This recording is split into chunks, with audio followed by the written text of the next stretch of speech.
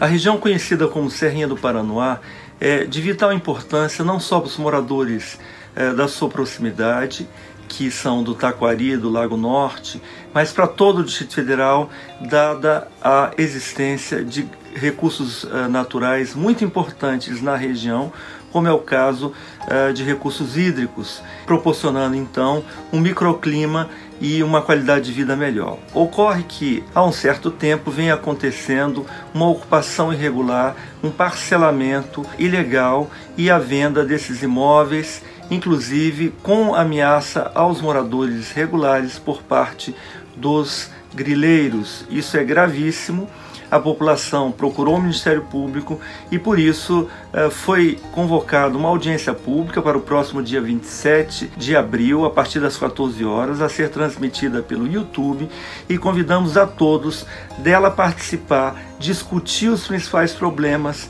inclusive com a presença eh, dos agentes públicos nas diversas áreas que devem agir na fiscalização, na repressão da atividade criminosa e buscar soluções uh, viáveis para todos nós, para as presentes e futuras gerações, como garantia da vida.